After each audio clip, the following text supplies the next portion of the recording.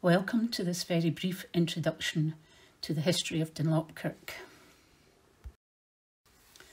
The church is still very much at the heart of the village and occupies an impressive site at the lower end of Main Street, described by Reverend John F. Bain in his book Dunlop Parish as beautifully situated in a miniature landscape of river, hill and dell. It is in a designated outstanding conservation area and has 27 beautiful stained glass windows. Like many other churches, Dunlop Church has seen turbulent times throughout Scotland's history. During the time of the Covenanters and the Reformation in the 16th century, and the disruption in the 19th century when there was a bitter schism in the Church of Scotland. Starting at the beginning, early records show that the first church in Dunlop was built in the 12th century. At that time, the priests came under the authority of the monks at Kilwinning Abbey. In 1766, a church was built on the existing site, and this was replaced in 1835 by the present church. The original architectural features from an earlier church built in 1641 have been included at the entrance to the Dunlop aisle in the north gable. This aisle belonged to the family of Dunlop of Dunlop, to whom the church owed a great debt for their interest, generosity, and patronage.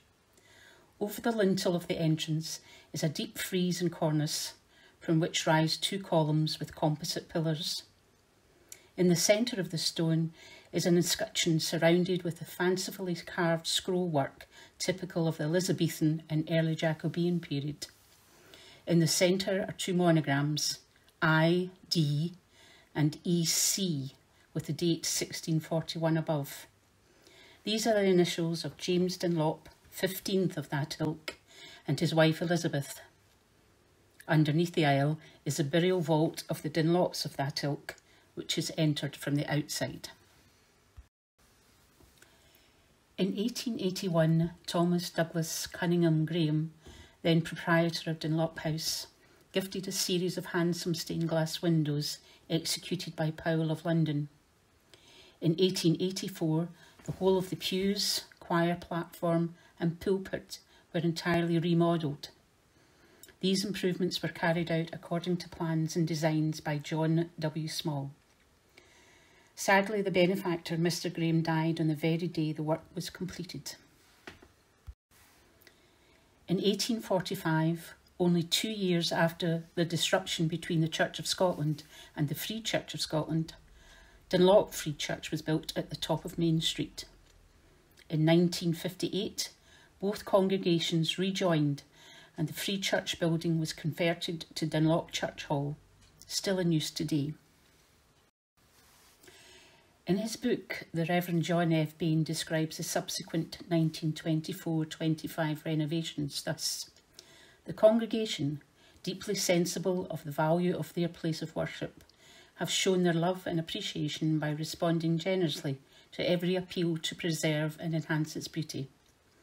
In 1924, the sum of £1,125 was raised for further renovations and decoration. Electric lighting was installed, and the vestry was enlarged and tastefully furnished. Dunlop Kirk also had a connection with the Anchor Line Steamship Company. In the upper west wall, there is a tall stained glass window depicting Adam on the left and Jesus on the right.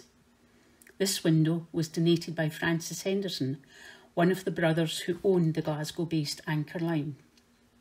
He was a regular worshipper in the church while living in Dunlop House. This window was designed by the famous Scottish stained glass artist Alf Webster in 1910 and is known as the Alf Webster window. It would be wrong to finish without a mention of the Clandeboys Hall and the Hans Hamilton Tomb, both A-listed buildings immediately adjacent to the church and very much part of the church's history.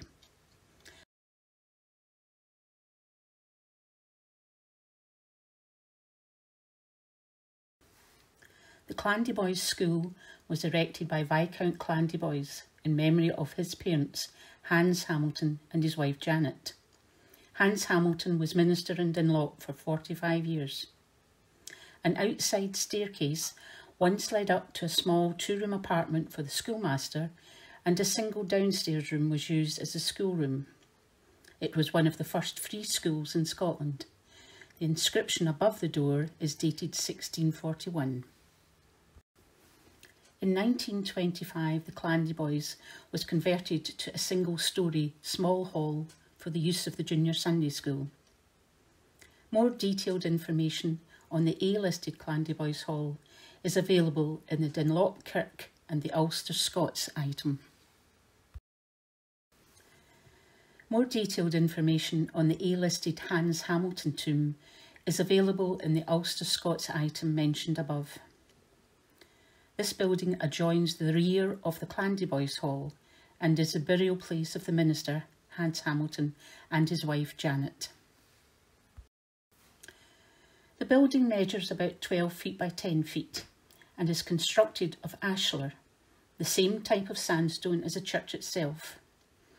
It was erected by the minister's son, James Viscount Clandeboys. The tomb was known locally as the Picture House because at one time the interior was brightly painted and gilded. The tomb had fallen into disrepair, but has recently been made wind and watertight by East Ayrshire Council. The two marble statues depicting the minister and his wife both kneeling towards each other with hands raised as if in prayer, have now been returned to their rightful place in the tomb. Many ministers in Dunlop made their mark nationally, but are too many to mention individually over a period of almost a thousand years. Hans Hamilton has been mentioned already, but there was John Major, a professor in Glasgow University, who was tutor to John Knox, and also Gabriel Cunningham, who preached at the opening of the First General Assembly of the Church of Scotland. And so it goes on to the present day, still spreading the word of God in this small part of Ayrshire and beyond. On the 29th of January 2009, Caldwell Parish Church at Uplawmoor and Dunlop Parish Church formed a linkage in the Presbytery of Irvine and Kilmarnock. It is a very happy linkage, with both congregations supporting each other and many friendships have formed. In 2019, we held a joint service of celebration to mark our 10th anniversary. Professor Alistair Ingalls and Margaret Hunter, session clerk at the start of the linkage, cut the cake and all enjoyed a special night. Moving into the 21st century, and as mentioned elsewhere, in 2008 a major outbreak of dry rot was discovered as well as defects in the external stonework. After a huge fundraising effort, repair and restoration work involving restructuring the whole of the interior was undertaken between 2008 and 2012 at a total cost of £750,000. Due to the extent of the interior repairs, the decision was made to reorganise the whole layout of the church with the installation of chairs instead of pews. To maximise the space, it was also decided not to reinstate the pulpit. The changes have created a warm and welcoming environment. In 2018, a wooden cross constructed from wood from the original pews was installed on the south wall as a focal point. The renovated church is much more flexible in its layout and is able to be used not only for Sunday worship but also for school services at Easter and Christmas, plus concerts and other activities throughout the week. The year 2020 has been unlike any other with the closure of the church due to the COVID 19 pandemic, and with weekly worship taking place on the internet under the Cat Tree Church.